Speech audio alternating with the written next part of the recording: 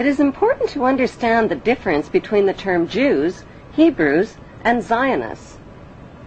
The majority of the world's Jewish population are honest, caring, honorable people who practice Judaism, follow religious tradition, and embrace good moral values. The term Hebrew refers to the Hebrew language.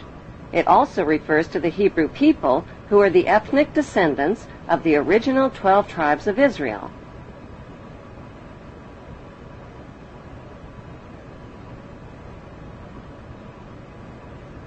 The term Zionist refers to political extremists. Zionists believe that the Hebrews are God's chosen race of people and that the Hebrews have a right to the land of the Muslim Palestinians. Why? Because according to the Bible, God said so. These Zionist extremists represent only a small minority of Jews and Hebrews. Christians who support Israel's theft of Palestinian land are called Christian Zionist extremists. Their goal is to help fulfill the prophecies of the Bible story. Countless millions of Americans are reading a series of novels called Left Behind. They're topping bestseller lists all over the country, and they're being made into movies. They chronicle apocalyptic times. The setting is the 21st century, complete with warplanes and TV correspondence. This is Buck Williams reporting live from Israel. I am standing in the middle of an all-out attack. But the plot is ripped from the pages of the Bible, so it all winds up here in Israel, where according to the book of Revelations, the final battle in the history of the future will be fought on this ancient battleground in northern Israel called Armageddon. It will follow seven years of tribulation during which the earth will be shaken by such disasters that previous human history will seem like a day in the country.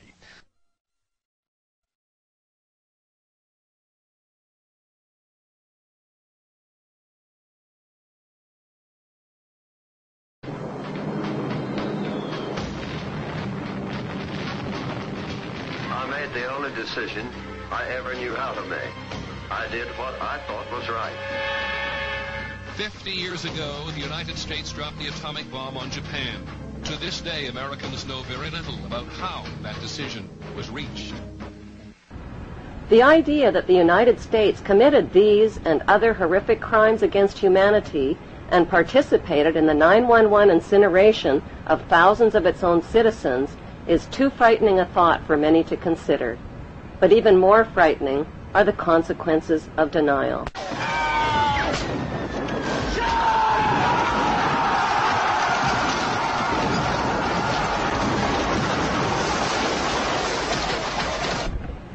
Did the world wars, revolutions, and big events of human history evolve naturally, or were they calculated and pre-planned? If they were pre-planned, who planned them, and what are they planning for the future of humanity?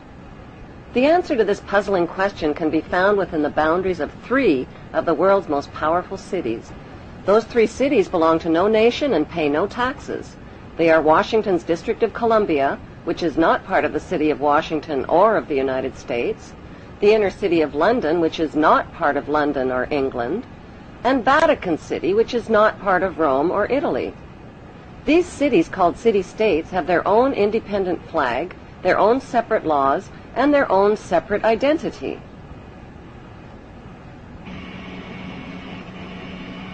Vatican City is in fact a state, the smallest principality in the world. It lies on the banks of the Tiber, completely surrounded by the city of Rome. Its status as a separate state emerged from the Lateran Agreements of February 1929. It has its own newspaper, postal service, radio and television station, its own flag, and a population of about 1,000. The Vatican also has its own army of Swiss guards, and it even has its own prison. Gracing the walls of St. Peter's Basilica is the Vatican-approved image of God, an angry bearded man in the sky painted by Michelangelo. Sinners who disobey God's list of thou shalt nots risk incurring his wrath and damnation and burning in Satan's eternal hellfire. Cruel and violent images of God's tortured Son, suffering, bleeding, and dying, with thorns gouged through his skull and nails pounded through his feet and hands, are on display throughout the Vatican. These images serve as reminders that God allowed his Son to be tortured and killed to save the souls of human beings who are all born sinners. These explanations and scary images are especially difficult for children to comprehend. The Vatican rules over approximately 2 billion of the world's 6.1 billion people. The colossal wealth of the Vatican includes enormous investments with the Rothschilds in Britain, France, and the USA, and with giant oil and weapons corporations like Shell and General Electric. The Vatican solid gold bullion worth billions is stored with the Rothschild-controlled Bank of England and the U.S. Federal Reserve Bank.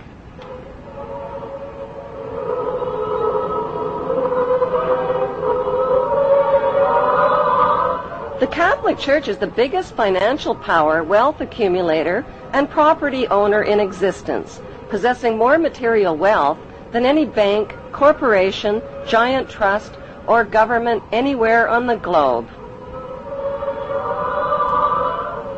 The Pope, who is the visible ruler of this colossal global wealth, is one of the richest men on earth.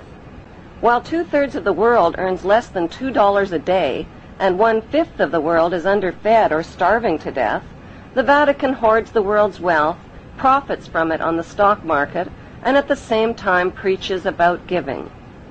How did the Pope and Vatican accumulate all that wealth over the millennium? One method was to put a price tag on sin. Many bishops and popes actively marketed guilt, sin, and fear for profit by selling indulgences. Worshippers were encouraged to prepay for sins they hadn't yet committed and get pardoned ahead of time. Those who didn't pay up risked eternal damnation in Satan's oven. Pope Leo X rebuilt St. Peter's Basilica, selling tickets out of hell and tickets to heaven. During the Dark Ages, the Catholic Church not only hoarded the wealth they collected from the poor, but hoarded knowledge. They kept the masses ignorant and in the dark, by denying them a basic education.